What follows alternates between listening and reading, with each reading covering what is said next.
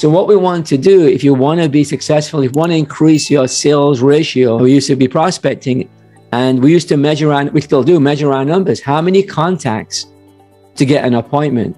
By the way, it's a very, very important thing because you don't, if you don't measure something, you'll never improve it. Whatever you measure improves. You want to track these things and see, well, where am I? So let's say that your number is right now, I would actually look at your number year to date and say, what's my number? Is it 48? Is it 22? What's your contacts per appointment? And then what you do, what I did, is actually set myself a goal every quarter to bring that down and less contacts to get one appointment.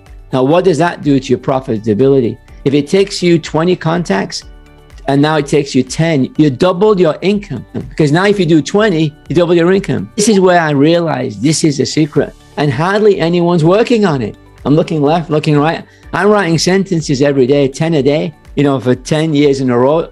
I still write them actually, at least I would say five to 10 a day, you know, making up sentences, structuring, you know, beyond the crowd. They say you'll, you'll start becoming so powerful, so effective that you'll actually feel that anyone you talk to, seriously, like you'll see a FSBO, a for sale by owner, and you say, I'm getting in that house. And you'll believe it. You'll actually pass a polygraph test. I know I will, because I know I'm going to get in there.